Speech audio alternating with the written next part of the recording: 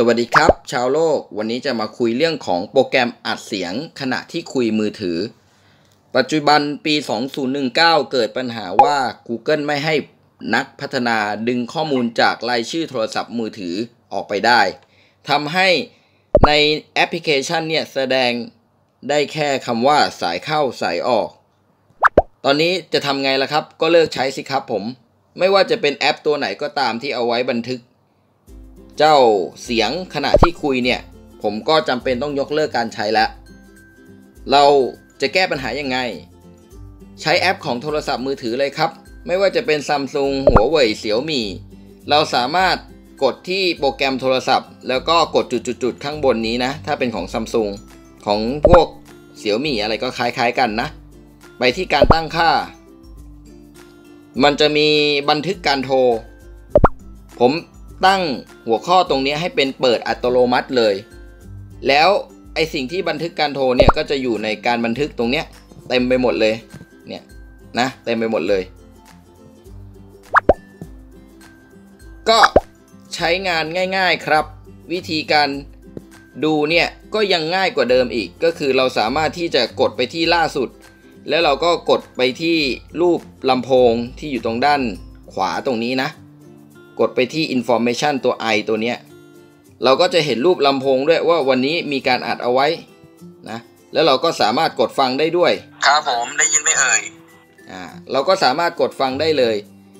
ดังนั้นการอัดตรงนี้เนี่ยจะค่อนข้างดีกว่าเยอะเลย ไม่ว่าเราจะกดเข้าไปดูตรงไหนเนี่ยเราก็สามารถที่จะ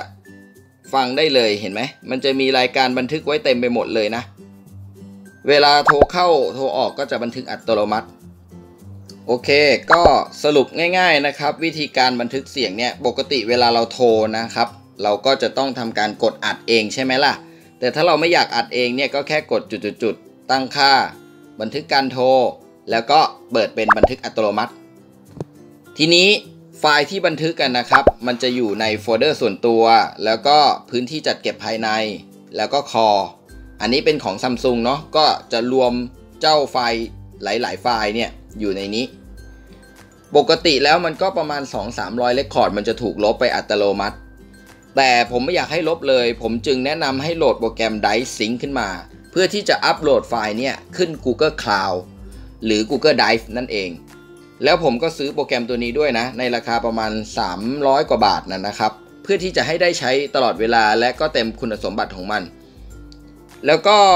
วิธีการนะครับ ผมก็ทำการสร้างโฟลเดอร์ขึ้นมา1โฟลเดอร์ที่ต้องการจะ sync เนาะแล้วก็เลือกว่ามันจะไปลงไดไหน ผมเลือกลง Team Drive ครับ ผมได้ทำการซื้อ Team Drive ไว้ด้วย มันสามารถอัดไฟล์ได้อย่าง unlimit นะครับผมก็ไม่จำกัดไฟล์อยู่แล้ว เราก็เลยลงไปที่โฟลเดอร์นี้เลยนะครับ ส่วน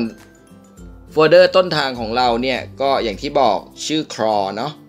จึ๊บแล้วเราก็ select แค่นี้เท่านั้นนะ เราก็เลือกเป็นอัปโหลดอย่างเดียวแล้วกันเนาะupload mirror แล้วก็ save ไปเรื่องรายละเอียดต่างๆของเจ้าคุณสมบัติ two way upload only อะไรพวกเนี้ยให้ไปอ่านในออนไลน์ user guide นะ มันจะทำให้เรารู้ว่าเอ่อแต่ละอันเนี่ยมีคุณสมบัติอะไร ผมกด save หลังจาก save ปุ๊บมันก็จะขึ้นโฟลเดอร์มา แล้วเราก็สามารถ sync ได้อัตโนมัติ ไฟล์ที่เราทำการ save ทั้งหมดเนี่ย ก็จะถูกอัปโหลดเข้าไปใน Google Drive นี่ก็มีเท่านี้เท่านั้นเองนะครับ ก็ขอให้ทุกคน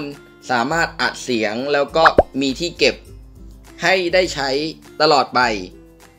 โอเค คลิปนี้จบเท่านี้นะครับ บ๊ายบายชาวโลก